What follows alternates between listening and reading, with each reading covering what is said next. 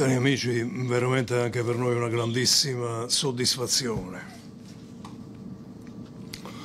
Devo ringraziare anche io il collega Stefano Graziano, Presidente della Commissione Salute, e il collega Picarone che si è impegnato per trovare un avvio di copertura finanziaria perché questo ci ha aiutato a concludere l'iter legislativo. Il senso di questa misura legislativa è duplice. Il primo riguarda il lavoro. Il lavoro è l'obiettivo centrale che avrà il governo regionale nei prossimi mesi e nei prossimi anni. Il lavoro. Abbiamo migliaia di giovani professionalizzati, a volte costretti ad alimentare un flusso di migrazione giovanile verso altri territori d'Italia, che non hanno possibilità di sbocchi occupazionali in Campania. Bene, questa legge rappresenta un'occasione straordinaria per trovare collocazione di lavoro adeguata alla qualità professionale che esprimono gli associati non mi pare un piccolo risultato.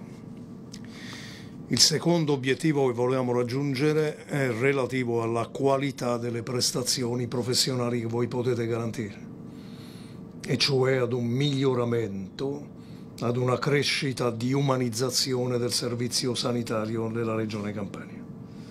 E quindi è un aiuto a noi a fare un salto di qualità definitivo nell'organizzazione del nostro sistema sanitario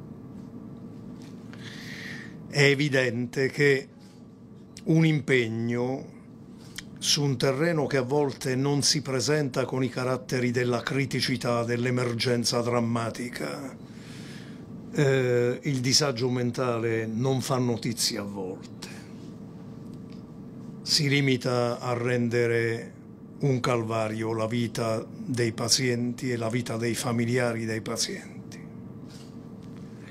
Non è possibile avere un, un, sistema sanitario umanizzato senza garantire questo servizio.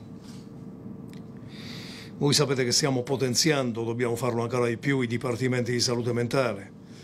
Stiamo lavorando per garantire un'assistenza adeguata alle famiglie, a garantire anche processi di socializzazione.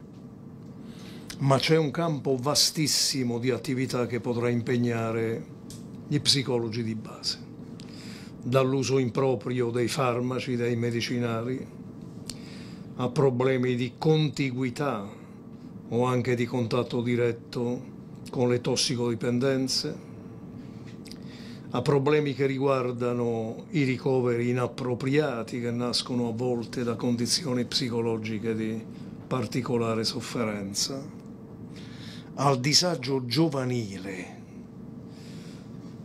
Pensate soltanto ai disturbi alimentari e a quello che comporta questa patologia. Pensate al fatto che noi abbiamo in Campania un primato negativo, che è quello che riguarda il diabete infantile, problemi alimentari, disturbi di vario tipo. Allora diciamo che vi sono le fasce estreme della popolazione, soprattutto quelle minorili e quelle più anziane, che sono particolarmente esposte a problemi di sofferenza psichica. Noi siamo davvero orgogliosi di poter offrire ai nostri concittadini, alla nostra comunità, anche una qualità del servizio di livello superiore. Lavoreremo nei prossimi mesi a potenziare enormemente la medicina territoriale. È uno dei punti sui quali dobbiamo fare salti in avanti di qualità e quindi è un impegno che si incrocia pienamente con la vostra attività professionale, con il vostro impegno. Veramente abbiamo costruito nella fase finale di vita del Consiglio regionale una pagina davvero di valore straordinario che colloca la Campania all'avanguardia in Italia. Anche in questo campo potremmo dire Campania a testa alta, perché davvero quello che abbiamo fatto oggi è qualcosa che ci fa camminare a testa alta in Italia. Auguri a tutti quanti voi e buon lavoro. Grazie.